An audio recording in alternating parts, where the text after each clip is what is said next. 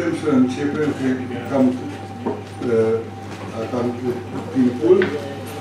Uh, eu sunt uh, Zoltan Roștaș, sociolog uh, și un fel de prim inter pares în, în uh, cooperativa Gusti. Majoritatea, fiindcă văd că sunteți tineri aici, nu știți ce este cooperativa Gusti, dar n-am să vă spun ce este cooperativa Gusti.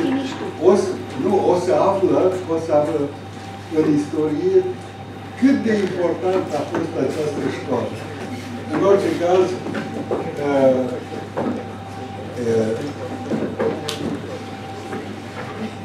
avem uh, o sarcină foarte frumoasă și în același timp foarte uh, inedită să dezbatem această carte a uh, o antologie a Teodorei uh, Lăcărescu, personajele acestea de a doua mână.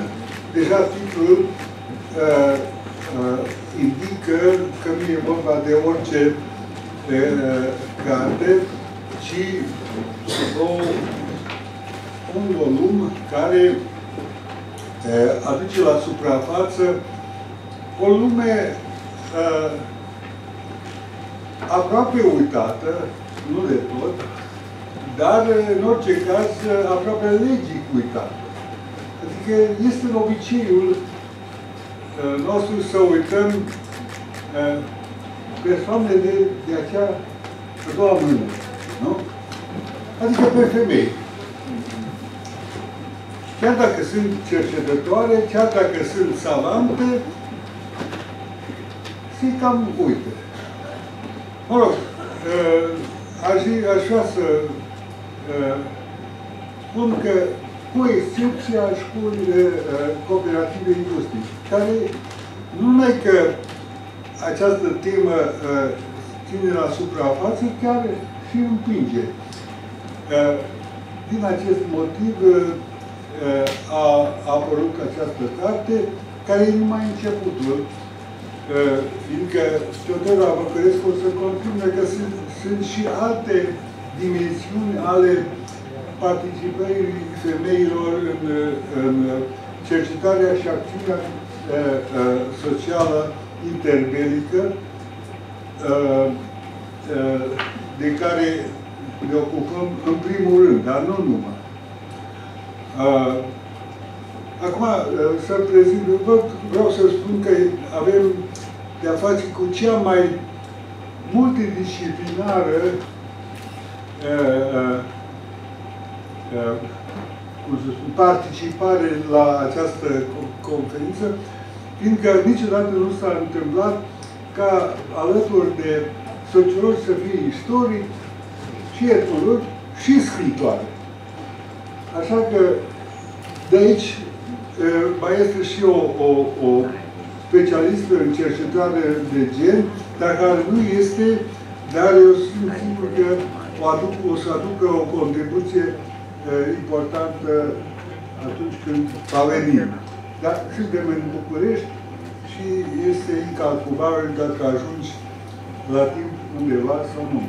Lângă mine este Ioana Frontelat, conferențial etnolog la uh, Universitatea din București ea este uh, uh, Doina Angela, scritoare, jurnalistă și pentru noi cel mai mare editor. Așa. Uh, lângă este uh, Ionuț Butoi, sociolog, la facultatea de jurnalist, dar nu prin asta este foarte cunoscut. Pe urmă este domnul profesor Alin Ciupar, de la Facultatea de Istorie, care cred că este singurul uh, profesor care uh, uh, este, uh, are studii foarte aprofundate și, bineînțeles, cunoscute despre istoria femeilor din secolul XIX început de secolul XX.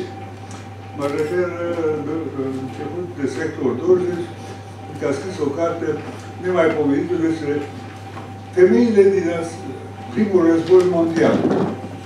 Nu numai bărbații făceau o figură bună, dar și femeile. Despre această temă am vorbit noi cu Teodora Văcărescu într-o carte destul de uh, interesantă mai, mai de mult. Deci, această uh, configurație uh, uh, m-am gândit cum să începem, cum să construim. Nu se poate concepe sub nicio formă, fiindcă uh, de oriunde am luat această dezbatere, tot este oarecum făcută ad hoc. Așa că hai să începem chiar de la tine.